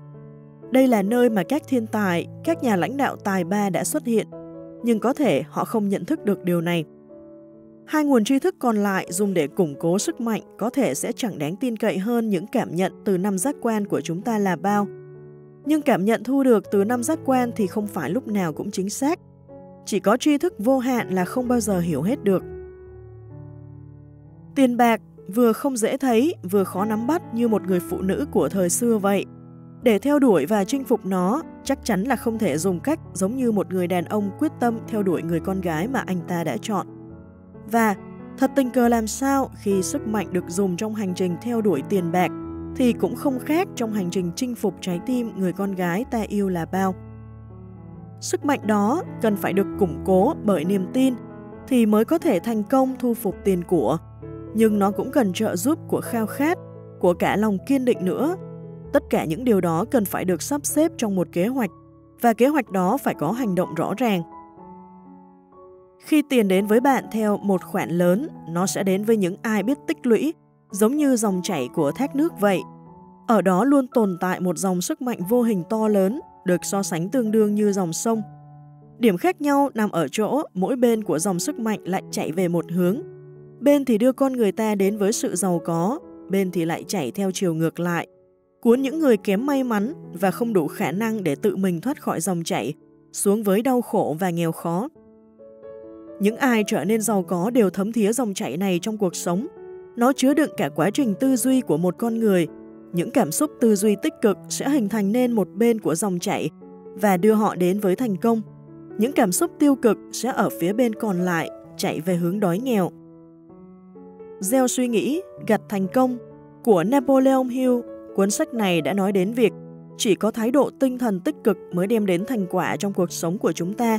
Sự tích cực khiến chúng ta dù trải qua những chuyện dễ chịu hay khó chịu, đều nhìn nhận lợi ích của nó và cân bằng cuộc sống, cảm thấy bình an trong tâm trí. Bạn sẽ nhận ra những bài học trong đó. Tâm trí chúng ta có khả năng biến những suy nghĩ trong đầu trở thành hiện thực. Nghĩ về nghèo khổ và bạn sẽ sống trong nghèo khổ. Nghĩ về giàu có và bạn sẽ kéo sự giàu có về phía mình. Và điều quan trọng là chỉ những người tiến lên với thái độ tinh thần tích cực mới có thể trở thành lãnh đạo. Thông qua quy luật hấp dẫn hài hòa từ ngàn đời nay, suy nghĩ của một người luôn tự khoác lên họ vỏ bọc vật chất tương ứng với bản chất bên trong. Giàu sang và nghèo khổ cũng thường hay thay đổi vị trí. Cuộc khủng hoảng thị trường năm 1929 đã dạy cho thế giới sự thật này, mặc dù nó sẽ chẳng nhớ bài học này lâu đâu. Nghèo khổ có thể, và thường là như vậy, đến trước, giàu sang. Khi giàu sang thế chỗ, sự thay đổi này luôn là kết quả của một kế hoạch được chuẩn bị kỹ càng trong đầu và thực hiện vô cùng cẩn thận. Còn nghèo thì không cần kế hoạch. Nó cũng chẳng cần gì hỗ trợ, bởi nó tàn bạo và độc ác. Nhưng giàu có thì ngược lại, nó hay xấu hổ và nhút nhát nên bạn mới cần phải theo đuổi. Ai cũng có thể mơ ước giàu sang, nhưng chỉ một số người biết rằng kế hoạch rõ ràng cộng với khát khao giàu sang mới tạo ra cách thức để trở nên thành đạt. Trên chiếc thang leo đến thành công, những bậc cao nhất là những bậc ít người nhất. Napoleon Hill Tổng kết 1. Sức mạnh cũng chính là tương lai cho những người muốn sống một cuộc sống đam mê và đạt được những kết quả lớn lao trên chặng đường tìm đến mục tiêu của mình. 2. Tri thức có thể được chuyển hóa thành sức mạnh bằng cách hệ thống hóa lại kiến thức của bản thân để lập nên những kế hoạch rõ ràng để biến chúng thành hành động cụ thể. 3. Khi một nhóm các tư tưởng độc lập kết hợp lại với nhau và vận hành trong sự hòa hợp, phần sinh lực tăng thêm được tạo ra từ mối liên kết đó cũng trở nên có giá trị với tất cả những ai trong nhóm. 4. Con người mang bản chất, thói quen và sức mạnh tư duy từ những người có sự đồng điệu trong tâm hồn mà họ gắn bó. 5. Sự tích cực khiến chúng ta dù trải qua những chuyện dễ chịu hay khó chịu, đều nhìn nhận lợi ích của nó và cân bằng cuộc sống, cảm thấy bình an trong tâm trí. Action Khối óc thiên tài nơi làm việc 1. Những kế hoạch tốt nhất cũng chẳng có tác dụng gì cho đến khi sức mạnh được sử dụng để chuyển hóa chúng thành hành động. Bạn hành động như thế nào để đạt được mục tiêu? 2. Làm thế nào để bạn sử dụng đến sức mạnh của mình và hành động? 3. Biết được kết quả khi hai hoặc nhiều trí tuệ cùng tập trung lại, bạn sẽ kết hợp với ai? 4. Hiểu được mối quan hệ giữa cảm xúc tích cực và nhận được khoản tiền xứng đáng. Những cảm xúc tiêu cực nào đang cản trở bạn đến với thành công và giàu sang? 5. Bạn làm thế nào để tạo ra những cảm xúc tích cực cho thành công?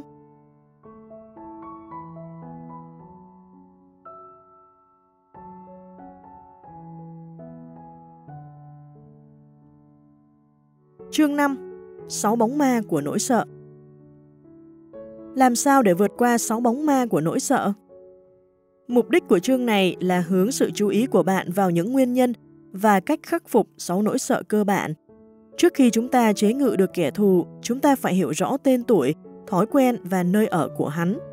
Khi bạn đọc cuốn sách này, hãy phân tích bản thân thật kỹ càng và xác định nỗi sợ nào đang ngự trị trong bạn nếu có.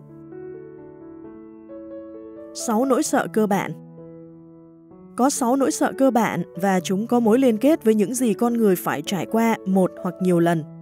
Hầu hết con người đều may mắn ở chỗ họ không phải trải qua tất cả 6 nỗi sợ ấy.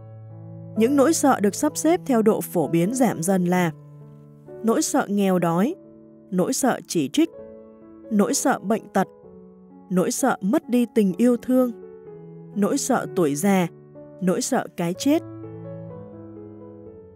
những nỗi sợ khác có ít tầm quan trọng hơn, chúng có thể được bao hàm trong một trong sáu nỗi sợ lớn phía trên. Nỗi sợ nghèo đói Không có thỏa hiệp nào giữa nghèo đói và giàu có cả. Con đường dẫn đến giàu hay nghèo là hai làn đường đối ngược nhau. Nếu bạn muốn giàu có, bạn phải từ chối mọi khả năng dẫn bạn đến với chiều ngược lại. Chữ giàu có ở đây được hiểu theo nghĩa rộng nhất, bao gồm giàu về tài sản, tinh thần và vật chất. Điểm khởi đầu của lộ trình dẫn bạn đến sự sung túc là khát khao. Ở chương 1, bạn đã học được những hướng dẫn cụ thể về cách sử dụng khát khao.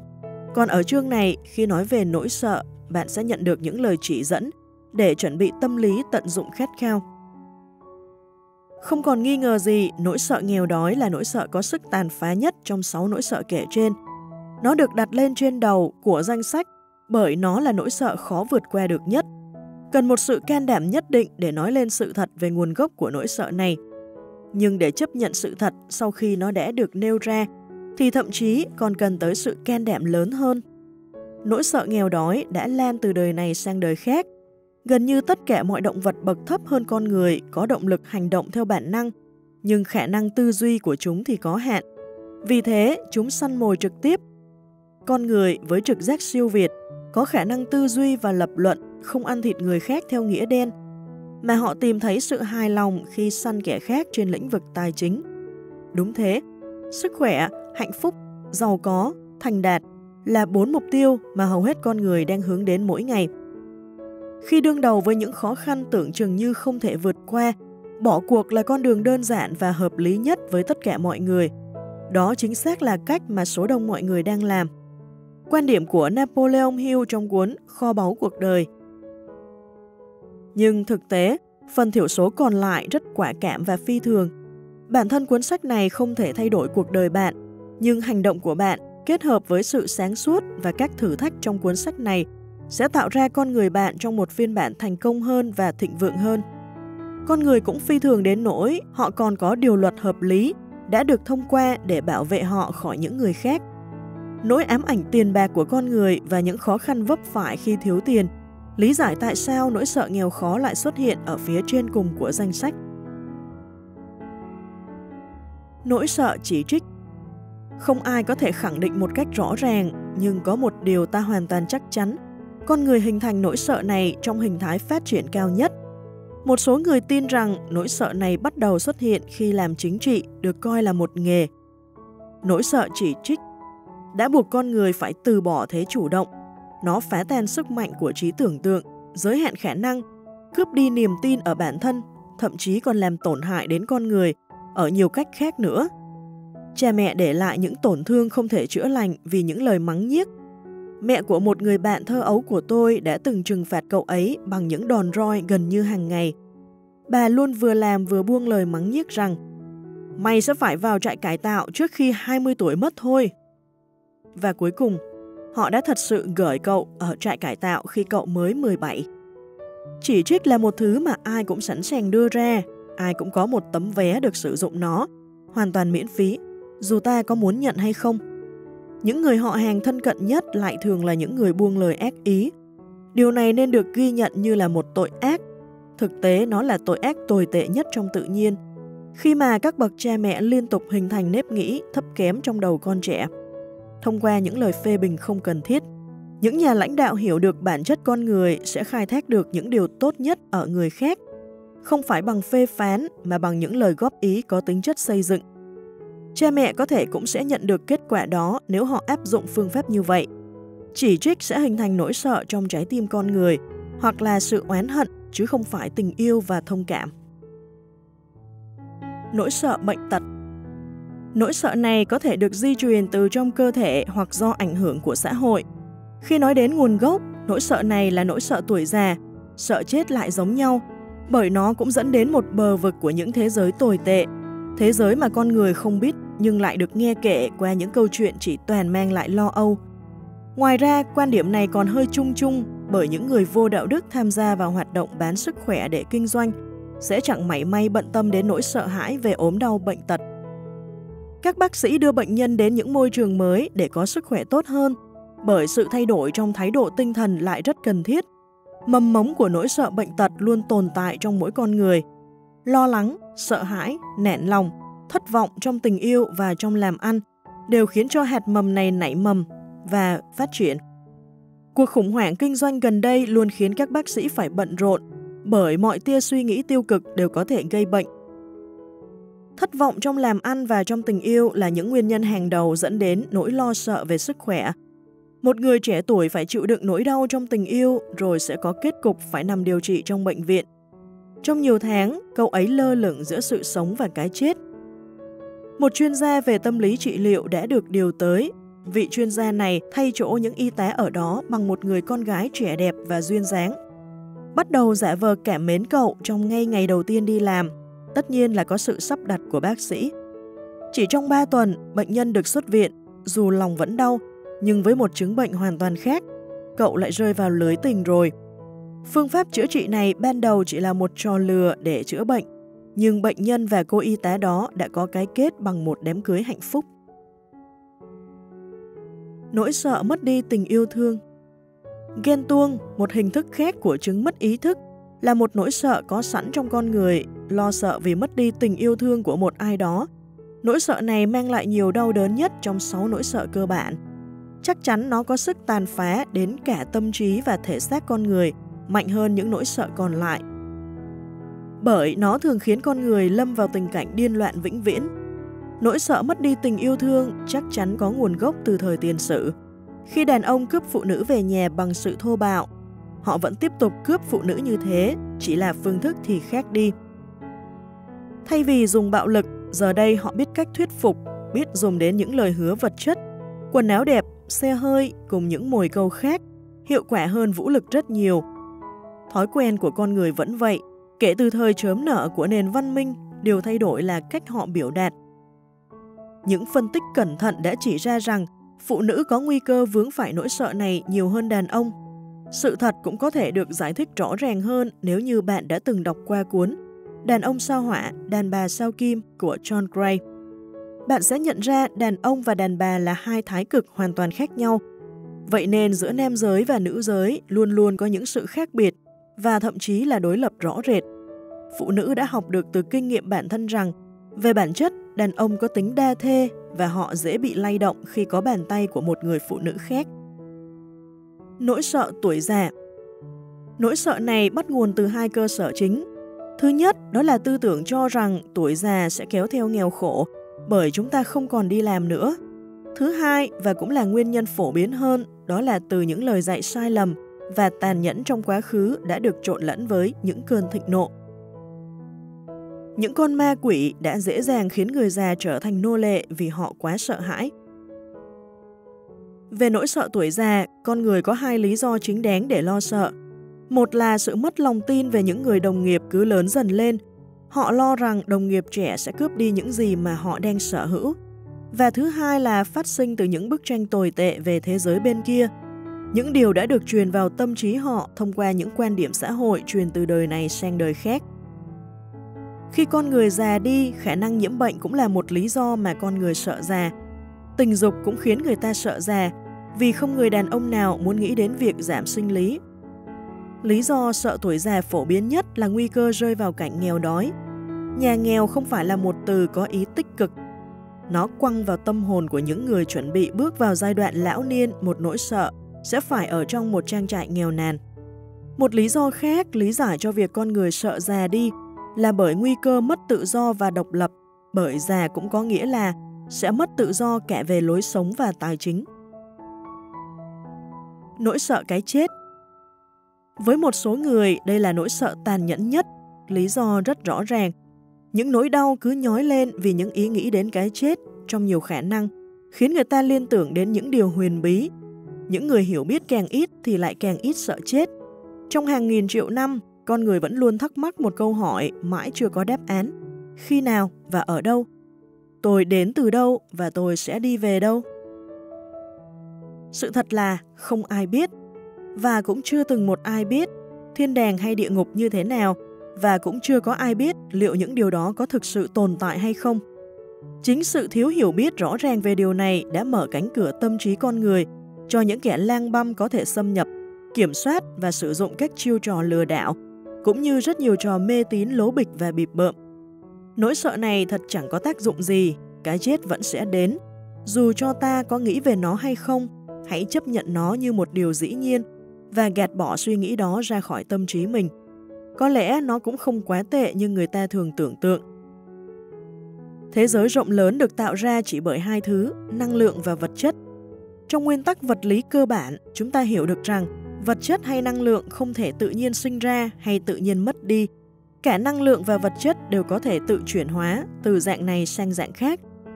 Nếu được gọi tên, sự sống chính là năng lượng. Nếu cả năng lượng và vật chất đều không thể bị phá hủy hoàn toàn, tất nhiên sự sống cũng không thể bị tàn phá. Cuộc sống giống như những hình thái năng lượng khác, có thể chuyển hóa sang những quá trình khác hoặc thay đổi, nhưng nó sẽ không bao giờ mất đi. Cái chết cũng chỉ là một sự chuyển hóa sự sống. Nếu cái chết không chỉ đơn giản là sự thay đổi hay chuyển hóa, thì không có gì kéo theo đằng sau nó ngoại trừ một giấc ngủ dài, vĩnh hằng, bình yên, và giấc ngủ thì không có gì phải sợ cả. Vì vậy, bạn có thể gạt bỏ nỗi sợ cái chết mãi mãi. Lo lắng Lo lắng là trạng thái tâm lý dựa trên nỗi sợ.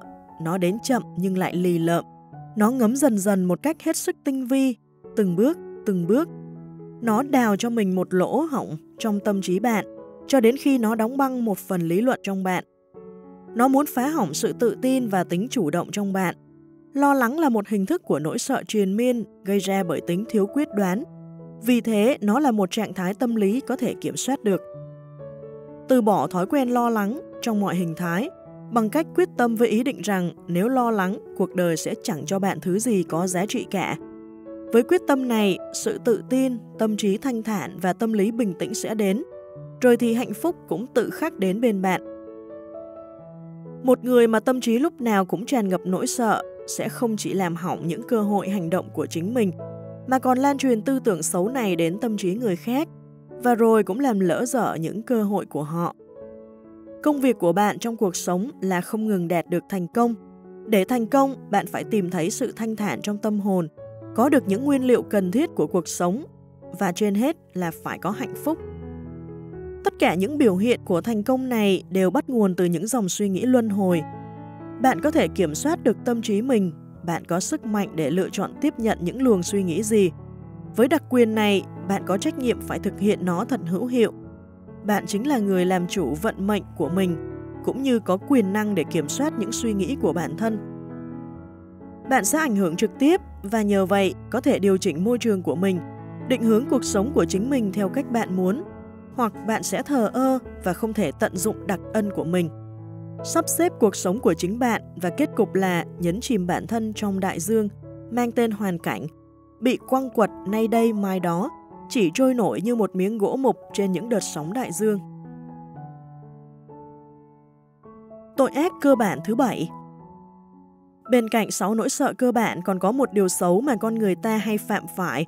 Nó tạo thành một mảnh đất màu mỡ cho hạt giống của cái ác sinh sôi mạnh mẽ, nhưng lại quá mờ nhạt để có thể nhận ra. Hãy tạm gọi đây là tội ác, dễ bị khuất phục trước những tác động xấu. Tuy rằng bạn có thể dễ dàng bảo vệ bản thân trước những tên cướp ngày bởi luật pháp luôn sẵn sàng hỗ trợ, bảo vệ quyền lợi của bạn. Tuy nhiên, tội ác thứ bảy lại rất khó để khuất phục bởi nó sẽ ập đến những lúc bạn lơ là nhất, dù là khi bạn đang say ngủ hay tỉnh táo. Hơn thế nữa, nó ẩn chứa trong mình thứ vũ khí vô hình, chỉ đơn thuần là một khoảnh khắc trong suy nghĩ. Đây là thứ tội ác rất nguy hiểm, bởi nó xuất hiện, biến hóa đa dạng trong bất cứ hoàn cảnh nào của con người – Đôi khi nó tiếp cận suy nghĩ của ta thông qua những lời nói thiện ý nhất từ người bà con nào đó. Hoặc thỉnh thoảng nó được sinh ra từ trong chính những tư duy của bản thân. Nó tựa như một chất độc chết người dù không thể giết người ta ngay lập tức. Làm sao để bảo vệ bản thân trước những tác động xấu? Để có thể bảo vệ bản thân trước những tác động tiêu cực xuất phát từ chính bản thân bạn hay là kết quả của hành động xấu từ những người xung quanh bạn, Hãy nhận thức rằng bạn có sức mạnh ý chí. Hãy thường xuyên sử dụng nó cho đến khi tạo dựng được cho trí óc một bức tường kiên cố, miễn nhiễm với mọi tác động xấu. Hãy nhớ rằng bạn cũng như tất cả mọi người đều có bản chất lười biếng, lãnh đạm và dễ bị khuất phục bởi những ém thị tương đồng với những điểm yếu của bản thân. Hãy nhớ rằng bản chất của bạn là dễ bị ảnh hưởng bởi tất cả sáu nỗi sợ kia và hãy tạo cho mình thói quen chống lại chúng Hãy nhớ rằng những tác động tiêu cực thường tấn công bạn thông qua tiềm thức, vậy nên rất khó để có thể nhận ra. Hãy giữ cho tâm trí bạn tránh xa những người chỉ luôn khiến bạn mệt mỏi, nhụt chí. Hãy dọn sạch tủ thuốc của mình, vứt hết tất cả và ngưng chạy theo mọi thứ bệnh cảm, đau đớn, những căn bệnh tưởng tượng kia. Hãy thận trọng và tìm cho bản thân những người bạn đồng hành, giúp bạn có thể suy nghĩ và hành động vì bản thân. Đừng tự loại trừ những rắc rối chỉ vì chúng sẽ khiến bạn thất vọng. Không thể phủ nhận rằng yếu điểm thường thấy nhất ở con người chính là thói quen để tâm trí mình bị ảnh hưởng tiêu cực bởi người khác. Đây là thứ yếu điểm chết người bởi người ta thường không nhận ra rằng mình bị nó làm liên lụy. Và dù có nhận ra thì người ta cũng sẽ thờ ơ hay chối bỏ thứ tội ác này. Cho đến khi nó trở thành một phần gắn liền với thói quen trong cuộc sống thường nhật. Bạn chẳng có quyền kiểm soát tuyệt đối với thứ gì, chỉ trừ những suy nghĩ của chính mình. Đây chính là sự thật quan trọng và thú vị nhất với con người. Sự thật này cũng ảnh hưởng đến bản chất tự nhiên của con người. Đặc quyền tự nhiên này chính là cách thức duy nhất mà qua đó bạn có thể làm chủ được vận mệnh của mình. Nếu không thể kiểm soát được suy nghĩ của bản thân, chắc chắn rằng bạn sẽ chẳng thể kiểm soát được cái gì khác. Hãy thử đọc cuốn Gieo suy nghĩ, gặt thành công của Napoleon Hill mà tôi đã nhắc phía trên với một tâm hồn rộng mở và bạn sẽ nhận ra các trang sách đang tiết lộ cho bạn phép màu vĩ đại nhất. Một phép màu mà chỉ có bạn mới có thể hiểu và chỉ bạn mới có thể kiểm soát nó. Bạn sẽ nắm được những bí quyết điều chỉnh thái độ tinh thần, loại bỏ cảm xúc tiêu cực, duy trì sự bình yên trong tâm trí. Bạn có thể áp dụng vào cuộc sống của mình và sẽ hiểu được rằng cuốn sách này mang đến cho bạn điều gì đó còn lớn lao hơn cả cách thoát khỏi sự sợ hãi về thể chất hay tinh thần. Kiểm soát suy nghĩ chính là kết quả của tính kỷ luật bản thân. Kiểm soát suy nghĩ của mình hoặc là để nó làm chủ bạn. Chẳng có một thỏa hiệp 50-50 nào. Cách thực tế nhất để làm chủ suy nghĩ của mình chính là thói quen khiến trí não luôn luôn bận rộn một cách có chủ đích, được lên kế hoạch chi tiết. Hãy thử nhìn nhận những kinh nghiệm từ những người đã đạt được thành tựu đáng kể bạn sẽ thấy họ có thể làm chủ được tư duy và hơn thế, họ còn điều khiển và hướng nó đến những mục tiêu cụ thể. Bạn sẽ chẳng thể thành công nếu thiếu đi khả năng kiểm soát này. Những cái cớ trứ danh Những người không thành công thường có chung một đặc tính rất nổi bật. Họ biết tất cả lý do thất bại và có cho mình những cái cớ mà bản thân họ tin rằng rất thuyết phục nhằm biện hộ cho việc thất bại.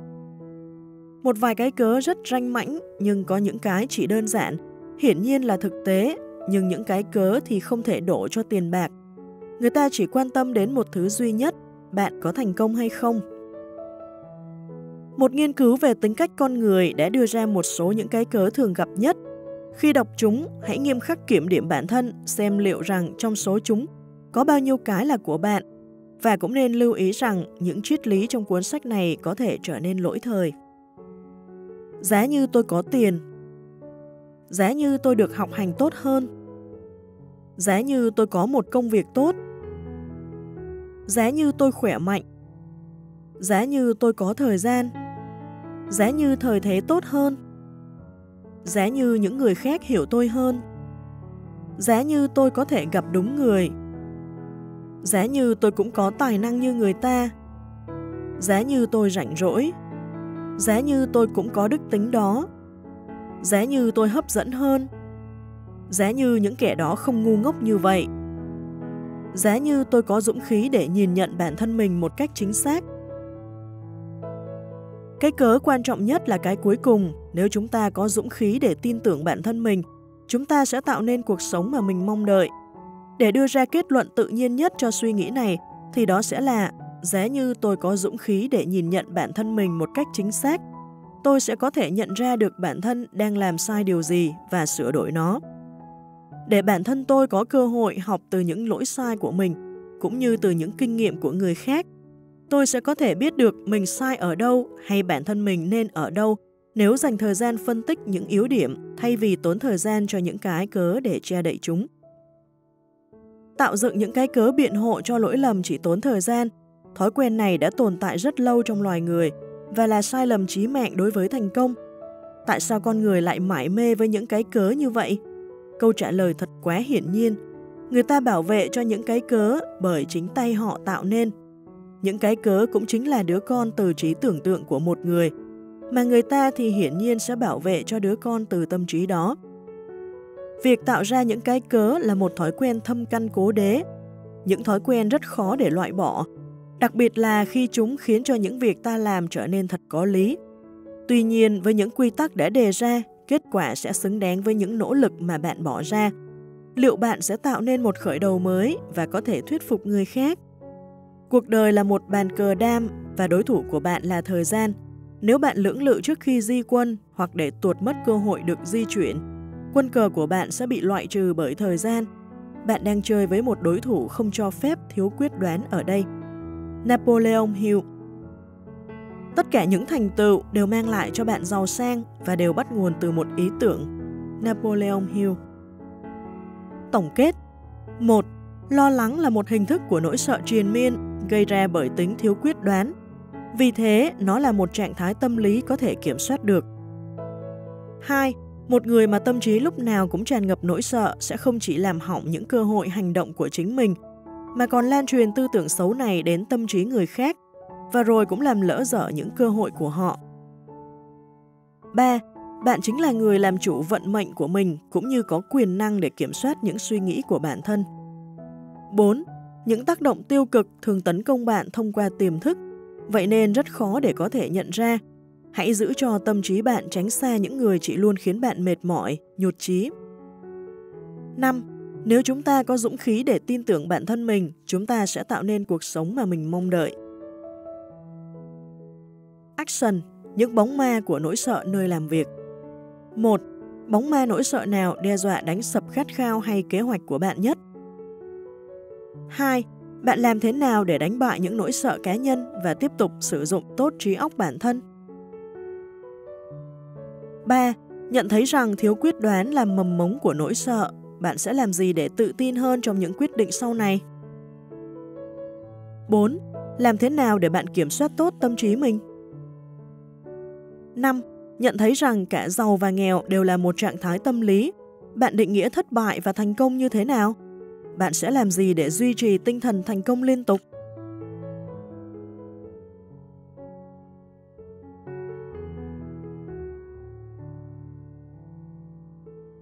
Về tác giả và về quỹ Napoleon Hill Oliver Napoleon Hill là một tác giả Mỹ, chuyên viết những cuốn sách tự học.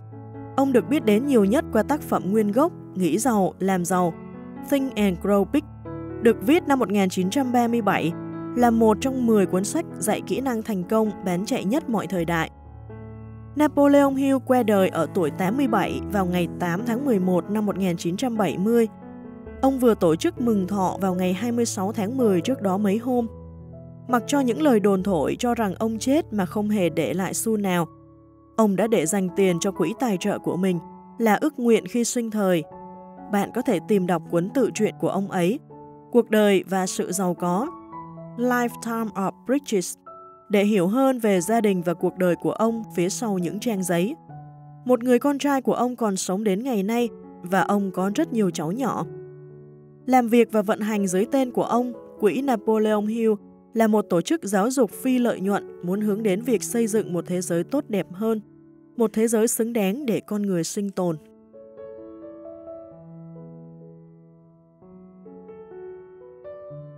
Vừa rồi thì chúng ta đã hoàn thành toàn bộ nội dung của quyển sách Think and Grow Rich, năm nguyên tắc vàng nghĩ giàu làm giàu, đánh thức khao khát làm giàu trong bạn, của tác giả Napoleon Hill, xuất bản bởi công ty Bisbook và nhà xuất bản Hồng Đức. Không biết là các bạn cảm thấy nội dung quyển sách này như thế nào, các bạn hãy chia sẻ ý kiến của mình vào phần comment ở bên dưới để chia sẻ cho Uyên cũng như là cho các bạn khác cùng biết nha. Và ngoài ra thì các bạn có bất kỳ một ý kiến đóng góp nào về cách mà Uyên đọc sách hoặc là cách mà Uyên xây dựng video thì bạn cũng chia sẻ trong phần comment luôn. Uyên rất là cảm ơn những ý kiến đóng góp của các bạn. Nếu mà chúng ta cảm thấy thích những nội dung mà Uyên đang chia sẻ thì các bạn có thể à, mua sách giấy để ủng hộ cho tác giả, ủng hộ cho nhà xuất bản. Đường link Uyên đính kèm trong phần mô tả video ở bên dưới sẽ giúp cho các bạn có thể mua được sách giấy hoàn toàn là sách thật, tránh những trường hợp mua sách lậu, sách giả trôi nổi ở trên thị trường. Bạn có nhu cầu mua để sưu tầm hoặc tặng cho bạn bè thì bạn hãy click vào đường link Uyên đính kèm trong phần mô tả video nhé.